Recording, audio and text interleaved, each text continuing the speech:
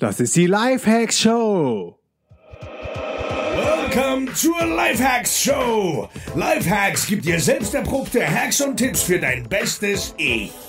Und hier ist ein Crash-Test-Dummy für ein besseres Leben. Markus Meurer. Jo Leute, was geht? Willkommen zur neuen Folge der Lifehacks Show. Wenn ich unterwegs bin als digitaler Nomade und dann mit anderen Menschen ins Gespräch komme, ist eigentlich immer der Ablauf ziemlich ähnlich. Erstmal sind sie mega geflasht, dass ich von überall arbeiten kann und leben kann und sagen, wow, geil, geil, geil, geil, will ich auch. Wie geht das? Und eine der nächsten Fragen ist immer, wie verdienst du dein Geld oder wie viel Geld verdienst du? Und ich glaube, gerade in Deutschland treibt diese Frage sehr viele Menschen um. Wie viel Geld verdient mein Nachbar? Wie viel Geld verdient mein Kollege? Äh, wie viel Geld keine Ahnung, verdienen meine Freundinnen. Also selbst unter Freunden oder Freundinnen wird in Deutschland, glaube ich, kaum über Kohle gelabert. Ich weiß auch gar nicht, woher das kommt. Ähm, Wäre mal interessant zu wissen. Aber im Vergleich zu anderen Ländern, wie beispielsweise den Staaten in den USA, da ist in der Jobausschreibung selber auch immer schon das Gehalt geschrieben, festgeschrieben. Und so weiß eigentlich auch jeder in der Company, was der andere verdient.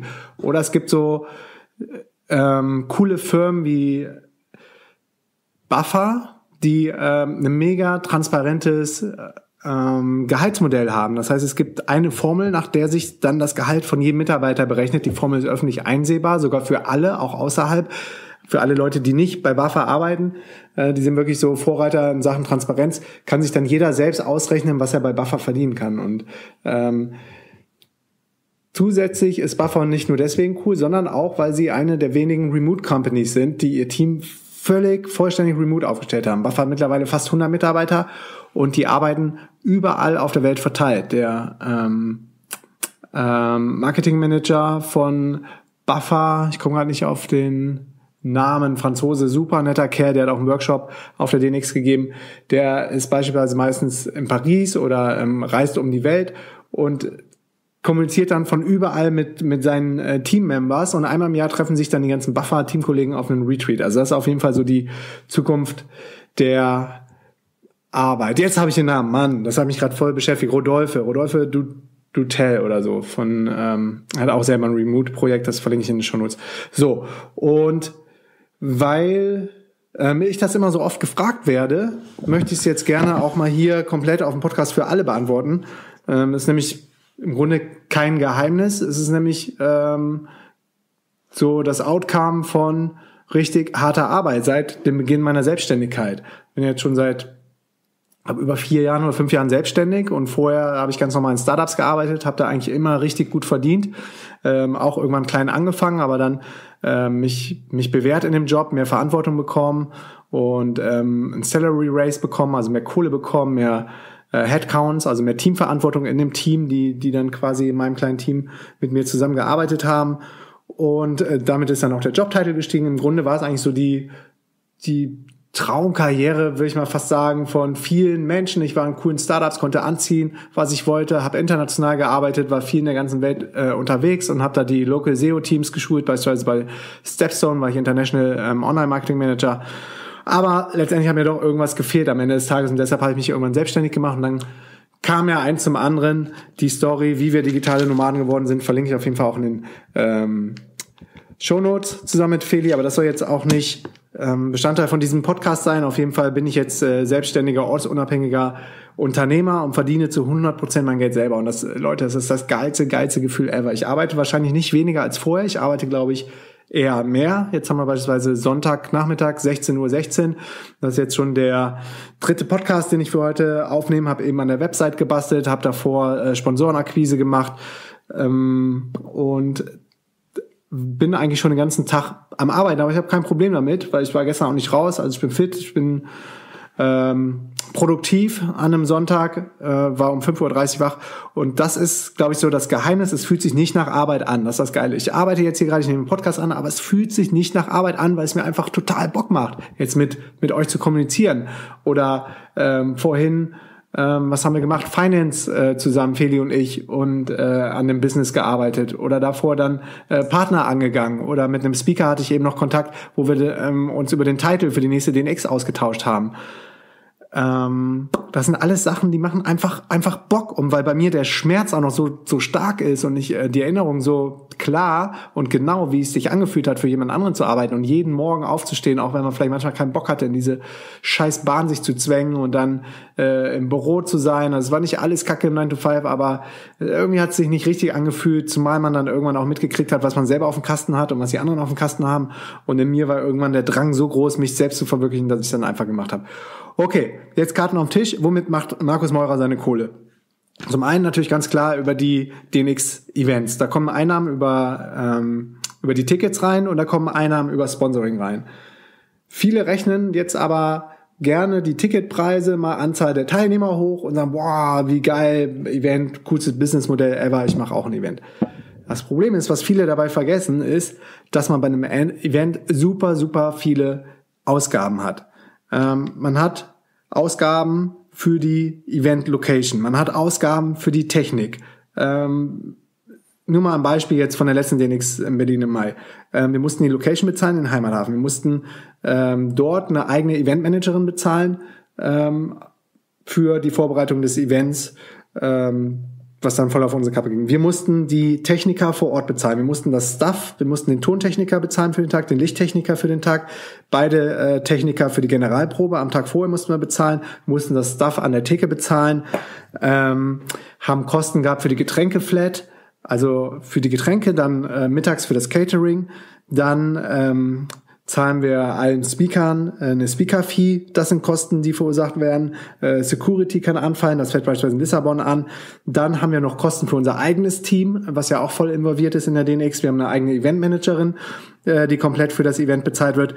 Wir haben Kosten für das ähm, für das Ticketsystem, für Eventbrite in dem Fall, die ähm, eine Commission kriegen und wir haben auch Kosten für den Payment-Anbieter und dabei habe ich glaube ich jetzt ähm, auch noch einige Sachen vergessen. Also es sind summa summarum ganz schön viele Kosten. Plus, was viele überhaupt nicht auf dem Kasten haben, ist die Umsatzsteuer, die man dann pro Ticket auch noch abführen muss. Und das in Deutschland nicht weniger, sind 19 Prozent Umsatzsteuer. Das heißt, ein Fünftel von dem Ticketpreis geht auch nochmal direkt an das deutsche Finanzamt. Aber ich will mich nicht beschweren, es macht super viel Spaß, es ist super rewarding, es ist geil, Leuten eine Bühne bieten zu können, das Feedback treibt uns weiter an. Wir haben mit der DNX schon so viel Leben verändert, dass wir sagen, so, das ist echt unsere Passion und wir wollen dafür stehen, dass wir die Bewegung der digitalen Nomaden noch größer machen, dass jeder irgendwie seinen, seinen eigenen Stil leben kann, sich selbst definieren kann, wie er in Zukunft arbeiten möchte und nicht eingezwängt in irgendein Büro in 9 to 5.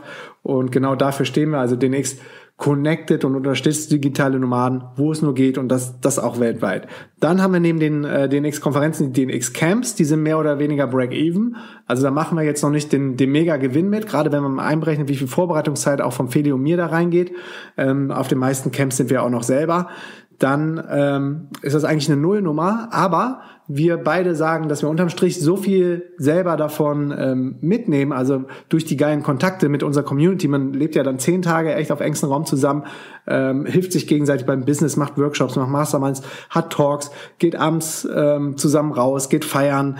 Ähm, in Brasilien gehen wir zusammen Kitesurfen, auf Lemnos waren wir zusammen äh, Windsurfen plus Kitesurfen. In äh, Thailand zum Beispiel haben wir zusammen Muay Thai gemacht, in Lissabon im Camp haben wir, waren wir auch zusammen surfen. Ähm, von daher sagen wir, das ist cool, das ist geil, auch wenn jetzt ehrlich gesagt auch viele Business Coaches äh, die Augen immer verdreht haben, denen erzählt haben, ja mit den Camps machen wir keinen äh, keinen Gewinn oder so, haben gesagt, Leute, ey, macht das nicht, das ist zu viel Aufwand, konzentriert euch lieber auf die Sachen, die Gewinn machen, äh, würden wahrscheinlich viele andere Unternehmer auch sagen, aber wir sagen, nee, wir wollen lieber die Message, wir sehen das auch so als als Reichweitenverstärker, weil dadurch die Leute, die bei uns auf dem Camp waren, ähm, die meisten kommen immer wieder. Und ich meine, das, das ist ja eigentlich ein geiles, ein, ähm, ein geiles Feedback. Ein besseres kann es ja gar nicht geben, dass äh, die gleichen Leute sich immer wieder einloggen auf die Camps und sagen, das ist so cool, was ihr da macht. Ich will wieder dabei sein. Das war so eine geile Zeit. Und diese Leute, diese ähm, sag ich mal, 20, 15 bis 20 haben wir im Schnitt auf dem Camp. In Lemnos ist unser größtes Camp gewesen, haben wir 50 auf dem Camp gehabt. Diese 50 Leute, die gehen jetzt raus in die Welt und die spreaden, spreaden the word, spread the word. Die, ähm, wie heißt das auf Deutsch? Die verbreiten quasi deine Botschaft und die erzählen anderen, wie cool es da war und die erzählen anderen, was, was sie erlebt haben auf dem Camp. Die erzählen anderen, wie geil es ihnen geholfen hat, ähm, ihr Business aufs nächste Level zu bringen. Von daher hilft es eigentlich ähm, wieder dem Markenaufbau der Marke DNX, dass die Leute wissen, das ist cool, was die Leute, was Markus und Feli machen. DNX ist geil und ähm, ich muss auf dem nächsten Event irgendwie dabei sein. Dann ähm, dritte Säule, beziehungsweise es gibt noch keine Einnahmen, ist äh, hier der Podcast. Ähm, auch wenn er immer weiter wächst und wir jetzt bei fast 50.000 Plays pro Monat sind, habe ich hier noch kein Sponsoring verkauft. Das, was hier mal als Sponsoring lief oder als Partnering, war mit dem Five-Minute-Journal. Die haben mir ähm, quasi einen Rabattcode für euch gegeben als Audience, weil ich einfach mal das Format testen wollte, habe aber keine Kohle dafür gekriegt, sind aber ein guter Partner von uns, haben beispielsweise bei der letzten DNX Global in Berlin auch die Journals zur Verfügung gestellt. Und wir, wir haben die dann quasi mit als Partner aufgenommen. Dann ähm, beispielsweise hat mich Blinkist angeschrieben, die haben gesehen, dass ich darüber eine Folge gemacht habe. Die gehen jetzt nächste Woche mit einem neuen Feature live, nämlich kann man die Blink, die Blinkist-Folgen kann man da auch auf Deutsch hören.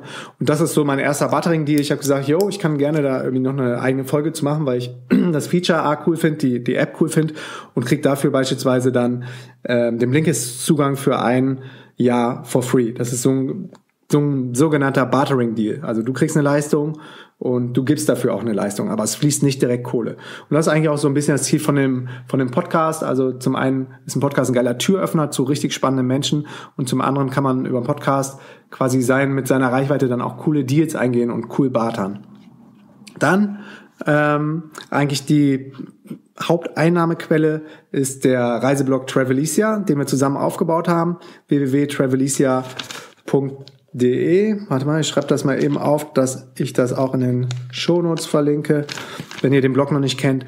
Und da haben wir all unser Herzblut und Passion reingesteckt. Also von Anfang an, als wir losgelegt haben in, äh, auf den Philippinen, da sind wir quasi als digitalen Nomaden gestartet und hatten so das erste Mal die Idee, wir bauen einen Blog auf, den aber professionell, dass wir später davon leben können, haben da all unser Know-how reingesteckt. Ich von meiner Online-Marketing-Seite, Feli von ihrem Wissen über, über das jahrelange Reisen als Backpackerin. Und die hat quasi schon gefühlt die ganze Welt gesehen, haben mir da richtig, richtig viel krassen äh, Mehrwert geliefert, geilen Content erstellt. Ich habe äh, über SEO-Maßnahmen dann ähm, Traffic generiert auf dem Blog, da haben wir mittlerweile äh, fast 80.000 Visitor im Monat.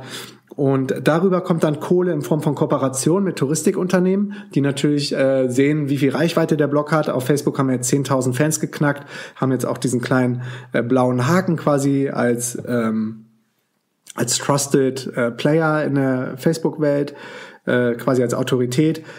Das finden die Touristikunternehmen richtig spannend, machen mit uns ähm, Social Media Kampagnen und dafür fließt dann fließt dann auch Kohle oder machen Gewinnspiel. Das heißt, die ähm, stellen quasi gute Preise und äh, bekommen dann ähm, Reichweite über den Travelista-Blog. Dann, dadurch, dass so viel Traffic auf dem Blog ist, das ist ein High-Traffic-Blog, ähm, kann man natürlich auch über Affiliate-Marketing Einnahmen verbuchen. Affiliate-Marketing heißt, du empfiehlst was jemand anderem und derjenige, wenn er das cool findet, ähm, kauft sich das und du kriegst dann eine Kommission von dem Händler. Äh, ganz einfach ein Beispiel Amazon erklärt. Wir machen Review über einen richtig geilen Rucksack oder einen Backpacking-Rucksack äh, oder ähm, beispielsweise über das Buffy, Buffy-Tuch, was ich bei den Flügen immer gerne um den Hals trage, schreiben darüber, machen vielleicht sogar ein Video, verlinken das dann auf Amazon. Für dich wird's nicht teurer, also auch wenn du direkt auf Amazon gehen würdest, äh, kostet das genauso viel, als wenn du über unseren Link gehst. Amazon kann aber dann tracken, woher jetzt der Besucher gekommen ist. Du bist also quasi, fandst das Review cool, was ich gemacht habe oder Feli gemacht habe über den Buffy, über das Buffy-Tuch, bist auf Amazon, kaufst das Ding und dann kriegen wir eine Commission, je nach ähm, Kategorie auf Amazon kriegst du zwischen zwei und fünf Prozent. Das klingt jetzt nicht viel, aber bei entsprechend vielen Käufen und vielen Traffic und vielen Klicks kann sich das dann auch aufsummieren auf äh, über 1000 Euro im Monat. Und so funktioniert dann das äh, Amazon-System. Also die sehen dann, dass der Lead über uns gekommen ist und wir kriegen dann einmal im Monat eine Ausschüttung. Und was spannend und interessant ist, dass äh, auch alle anderen Sales, also wenn du dir jetzt das Buffy-Tuch holst, aber gleichzeitig holst du dir noch keine Ahnung, eine neue Zahnbürste, ist jetzt nicht so passend für Amazon, aber vielleicht noch Kopfhörer und ein neues Smartphone, dann ähm, kriegen wir Commission auf diesen ganzen Warenkorb, also auf den kompletten Basket. Und das ist manchmal ganz interessant, was die Leute da alles auf Amazon finden und suchen und kaufen, äh, weil das überhaupt nicht die Sachen sind, die wir empfohlen haben, aber partizipieren damit. Dann neben Amazon gibt es noch mehr Partnerprogramme wie Globetrotter oder ähm, Hanse Merkur, Langzeitreiseversicherung empfehlen wir gerne. DKB gibt es eine kostenlose Kreditkarte. Ähm, es gibt dann ganze Affiliate-Netzwerke wie Zanox, Affiliate, äh, Trade Doubler, wo du dann verschiedenste Partnerprogramme ähm, aus der Reisewelt oder je nachdem aus deiner Welt, ähm, zu der deine Webseite gerade gut, gut rankt oder du Traffic hast, wo du dann ähm, Partnerprogramme einbauen kannst. Das kann zum Beispiel auch eine Flugsuchmaschine sein. Momondo ähm, haben wir uns beim Partnerprogramm angemeldet. Und ja, die fetten Brands, die Firmen äh, haben dann diese Affiliate-Programme. Man muss sich dann bewerben mit seiner Website, muss ein paar Traffic-Daten offenlegen und entweder die approven dich dann oder lehnen dich ab. Und wenn die dich approven, dann kannst du die Werbemittel von denen einbauen mit einem Tracking-Link. Tracking und sobald Tracking-Link, so, und sobald ein Sale generiert wird, kriegst du dann die entsprechende Commission. Und mittlerweile können wir eigentlich ganz gut von dem Reiseblog leben äh, zusammen. Aber ähm, wir haben ja jetzt noch viel mehr Sachen aufgebaut, aber wenn man sich jetzt voll auf den Blog fokussieren würde, würden wir mit dem Blog äh, monatlich zwischen 3.000 und 5.000 Euro machen. Mm, und unser erstes Ziel war irgendwie nur irgendwie 1000 Euro zu machen, dann äh, 1000 Euro für jeden und so haben wir da echt richtig hammer, hammer, hammer hart von Anfang an gearbeitet und diese Arbeit zahlt sich dann irgendwann aus, weil über die Jahre gewinnt dann die Domain auch an Trust und die Google-Rankings werden immer stabiler. Man wird zu bestimmten Money-Keywords gerankt. Wir haben es zum Beispiel geschafft, Packliste nach ziemlich weit nach vorne, nach vorne, nach vorne zu vorne zu bringen, B-Tipps. Und dementsprechend kommt dann auch der Traffic auf die Seite und man partizipiert dann von den Partnerprogrammen. Bei Airbnb zum Beispiel ähm, kriegt man für jede Anmeldung dann Guthaben. Und so bauen wir immer wieder cooles Guthaben auf. Ich glaube, mittlerweile haben wir wieder 600 Euro auf Airbnb und immer wenn wir reisen, können wir das Guthaben dann auch ähm, einlösen und das alles dank dem Travel-Blog und dank dem Artikel, den wir dazu geschrieben haben. Das ist nicht nur irgendein Artikel, das ist natürlich ein richtig geiler, guter Artikel, der entsprechend dann auch Mehrwert bietet, sonst würde Google den auch nicht so hoch ranken, weil Google sieht ja auch direkt, wie hoch ist die Verweildauer und sieht auch, wie ist die Bounce Rate, also wie lange sind die Leute auf dem Artikel geblieben, ähm, haben sie das gefunden, was sie suchen. Und wenn äh, die Leute nach zwei Sekunden wieder zurückkommen auf die Google-Ergebnisseite, dann spricht das nicht gerade dafür, dass der Content cool ist. Dann äh, noch ein Projekt, was wir ganz am Anfang ähm, aufgebaut haben, neben dem Reiseblog, weil das dauert, bis da die ersten Einnahmen kommen. Bei uns hat es auch ein halbes Jahr gedauert, bis die ersten paar Euro 50 kamen und dann ein Jahr und irgendwie relevante Einnahmen so nach anderthalb, zwei Jahren. Es kann auch noch viel länger dauern. Ähm, wir haben beispielsweise, äh, wir haben Glück gehabt, dass wir da so viel Know-how vorher hatten und richtig viel, viel Gas gegeben haben. Aber was immer gut funktioniert, ist Freelancen, also Dienstleistungen für andere machen. Und da haben wir dann von Anfang an ähm, quasi für andere auch als Freelancer gearbeitet, ich im Online-Marketing. Man konnte mich also buchen, meine Expertise. Und ich habe dann Firmen im Online-Marketing beraten, habe SEO-Kampagnen für die gemacht, SEA, CPC, also Cost-per-Click-Kampagnen wie über Google AdWords oder Facebook äh, Advertising. Und habe dafür gesorgt, dass der Traffic auf die Seite von denen gekommen ist und dann quasi ein Conversion-Funnel aufgebaut um diese Leads, das sind die Website-Besucher, dann in Sales umzuwandeln. Ähm, das haben wir unter Namen Online Angels gemacht, haben uns da auch ein eigenes Logo für angelegt. Und das waren so unsere ersten Versuche als, ähm, als Freelancer. Mittlerweile arbeiten wir jetzt nicht mehr für andere als Freelancer, aber es ist immer ein richtig, richtig geiler Start, um, um die ersten Einnahmen zu generieren. Was aber immer noch läuft und wir von Anfang an aufgebaut haben, ist das Projekt Rock My Site. Das verlinke ich auch in der ähm, in den Show Notes. Und da erstellen wir dann ähm, Webseiten für Startups und mittelständische Unternehmen, kann auch mal ein, fetterer Brand sein. Und das sind natürlich dann ganz klassisch Website-Aufträge. Äh, die Preise stehen auf der Website. Wir kriegen dann ähm, pro erstellter Website 2000 Euro oder so. Und das fließt natürlich auch noch in unsere, äh, in unsere Einnahmen rein. Mittlerweile haben wir uns auch ein Team aufgebaut, dass ich das nicht mehr alles selber machen muss. Am Anfang habe ich alles noch selber gemacht. Und so haben wir quasi als digitale Nomaden damals ähm, gestartet. Und neben Rock My Site haben wir dann noch ein weiteres Projekt gestartet, wundersite.net, aber ich glaube, da ist nur noch eine Weiterleitung drauf, wo wir gesagt haben, wie können wir das eigentlich automatisieren, diese Website-Erstellung. Haben schon immer gedacht, äh, Prozesse, Systeme schaffen, um äh, selber mehr Zeit zu haben. Haben gedacht, okay, viele Leute brauchen so eine persönliche Website, wie ich sie habe, markusmeurer.de oder feliciahagarten.de Könnt ihr euch mal anschauen, verlinke ich auch in den Show Notes. Haben viele gefragt, wie macht das, wie geht das? Und wir wollten das dann automatisieren und dann quasi nur noch Standard-Teams anbieten und das Ganze dann unter einem Wundersite verkaufen. Haben wir auch eine Zeit lang erfolgreich gemacht. Mittlerweile haben wir es jetzt mit Rock My Site zusammengefasst. Wichtig ist auch immer, mal so Bestandsaufnahme zu machen. Gerade bei mir und viele kann, ist die Gefahr groß, dass wir viel zu viel machen. Ähm, und dann irgendwann im Wald vor lauter Bäumen nicht mehr sehen, weil wir immer noch so unter Feuer sind, dass wir endlich äh, selbstständig sind und Unternehmer sind und jeden Tag das tun und machen können, was wir wollen, so dass es manchmal ein bisschen ausartet.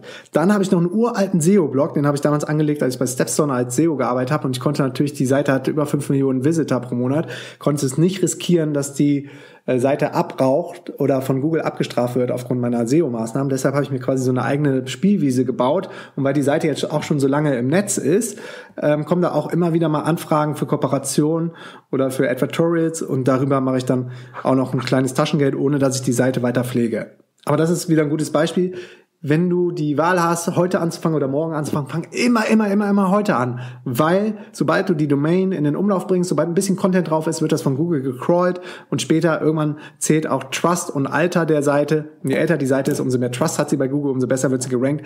Also fang auf jeden Fall heute schon an, deine ersten Webseiten zu stellen. Absolut, echt. Egal, was du gerade machst oder du hast es eh schon die ganze Zeit vor. Nach dem Podcast setz dich hin, registriere die Domain, erstellen den ersten Content, mach ein WordPress-Team drauf. Ist alles keine, keine Raketenwissenschaft Wissenschaft und bring die, die Seite erstmal live, weil es macht auch viel mehr Bock, an so einem Live-System zu arbeiten, als an einer Website, die, die noch gar nicht live ist und nur im Hintergrund und man, keine Ahnung, dann irgendwann, im schlimmsten Fall lässt man die ja nie live gehen. Dann, wofür wir noch Kohle kriegen, sind Speaking Gigs äh, auf anderen Konferenzen, wie zum Beispiel am WeShare Festival in Paris waren wir jetzt ähm, und reden über den digitalen ähm, Lifestyle oder werden als Experte angefragt für Webinare oder auch mal für White Papers oder von den Medien, ähm, die dann Zitate von uns wollen. Und da fließt manchmal dann auch Geld und das ist auch eine ziemlich coole Einnahmequelle, weil zum einen macht es mega Spaß, über sein Thema zu reden, wo man Experte ist und es schafft auch immer wieder Reichweite. Also das wird auch immer mehr.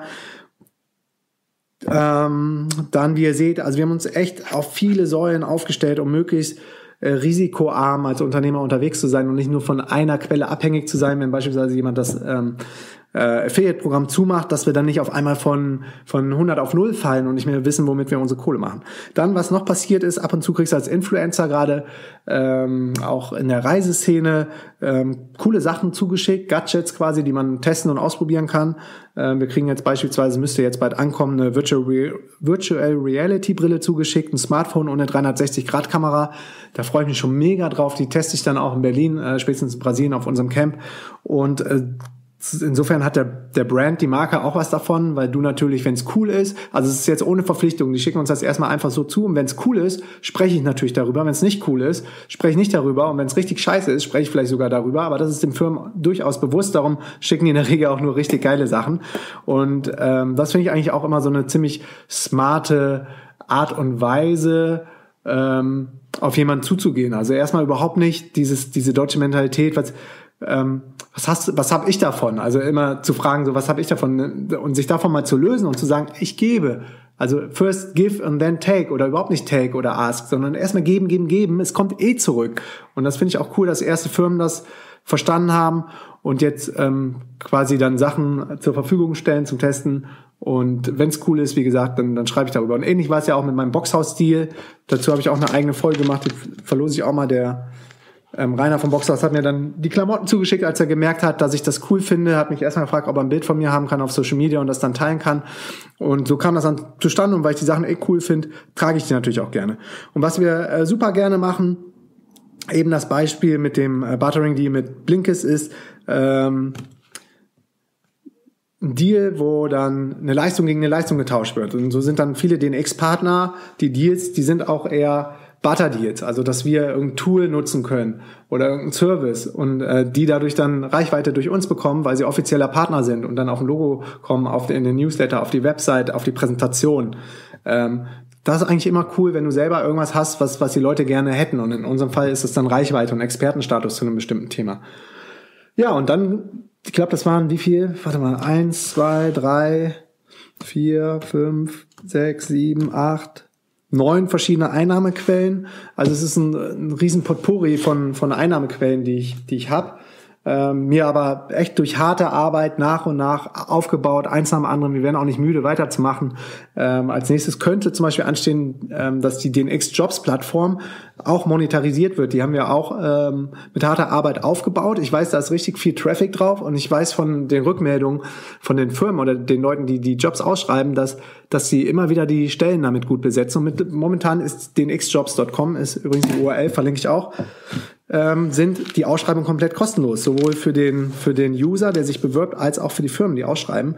Und da könnte mal irgendwann ein smartes Modell sein, dass du von den Firmen, die in der Regel ja auch eh mehr Kohle haben als äh, der Endkunde, also B2B-Business kannst du immer mehr Kohle machen als im B2C. Darum sind Konferenzen auch nicht das allergeilste Businessmodell, gerade wenn es B2C ist. Dann ähm, zurück zu der, zu der Jobbörse, dann kann man ja sagen, äh, wir kriegen eine Fee, 10, 20, 30, 50 Euro, je nachdem, wie gut die, die Börse performt, sind die Unternehmen ja dann bereit dafür Kohle auszugeben. Das ist ja genau das Prinzip, was äh, Monster und Stepstone auch machen. Also das ist zum Beispiel noch so ein, ähm, so ein Rohdiamant, der bei uns rumliegt, die DNX Jobbörse und haben natürlich auch noch viele andere Ideen, was wir so in nächster Zeit ausprobieren wollen, aber irgendwie ist am Ende des Tages immer zu wenig Zeit übrig, deshalb muss man priorisieren, aber ich denke, wir sind ganz gut aufgestellt, aber es wird bestimmt noch vieles mehr kommen, weil äh, sonst wird uns ja auch irgendwann äh, langweilig, beziehungsweise mir wird immer richtig schnell langweilig. Also Leute, alle Links zu diesen ganzen Projekten haue ich in die Show Notes, dann könnt ihr mal sehen, wie das aussieht, was wir so gemacht haben, ähm, wo ich herkomme. Und wenn ihr noch eine Frage habt zu Monetarisierungs- ähm, oder Modellen, Businessmodellen, wie man online seine Kohle verdienen kann, dann kommt doch auch in die DNX-Community unter ein Wort dnxcommunity.de. Ich glaube, die DNX-Community habe ich auch registriert. Das schaue ich mir gleich mal an. Wenn nicht, mache ich es auch. Also könnt auf beide gehen. dnxcommunity.de. Eine DE-Domain kostet übrigens 5 Euro 70, 80 pro Jahr. Also 50 Cent pro Monat. Ähm, das nur zur Info. Wenn ich da gerade einfach mal raushaue, dann ähm, registriere ich halt die Domain auch noch. Kommt auf, in die Community, stellt mir alle Fragen. Ich bin in der Community am Start. Und ich hoffe, es ist jetzt mal ein bisschen klarer geworden, wie ich meine Kohle mache. Wenn nicht Fragen offen sind, schreib mich an direkt oder komm in die Community. Und jetzt, bevor ich mich zum zehnten Mal wiederhole, vielen, vielen, vielen, vielen Dank für alles. Und wenn du mir noch keine Bewertung gegeben hast und jetzt äh, happy bist mit den äh, Podcasts und den Inhalten, die ich share, dann geh mal bitte nach dem Podcast auf iTunes und gib mir eine Bewertung. Bis zum nächsten Mal. Peace and out, dein Markus. Jo, Freunde, wenn euch die Folge gefallen hat, hinterlasst mir eine Bewertung mit kurzem Text auf iTunes. Ich verlose einmal pro Monat ein DNX-Ticket deiner Wahl unter allen Bewertungen. Liked meine Facebook-Seite unter facebook.com slash Markus, folgt mir auf Snapchat unter dem Usernamen Markus Meurer und checkt meinen Background unter markusmeurer.de. Peace and out.